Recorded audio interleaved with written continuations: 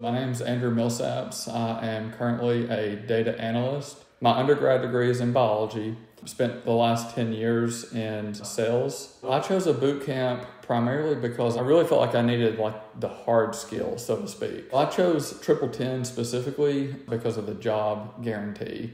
Yes, I chose data science specifically because there was a quiz that basically just asked about like things that you're good at, things that you like doing, and it, it said data science and I kind of looked through the curriculum, compared it to a couple other programs. The most useful thing um, from my time at TripleTen was really the projects. TripleTen did help me find my new career when I was about two thirds of the way through the program. My uh, current role is a data analyst with Volunteer Energy Cooperative.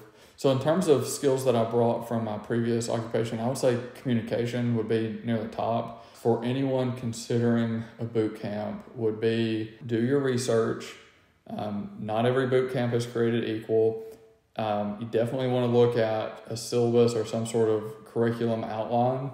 And then also, you, you really need a job guarantee. I wish that I would have realized how simple and easy the program was because had I known that, I probably would have started it sooner.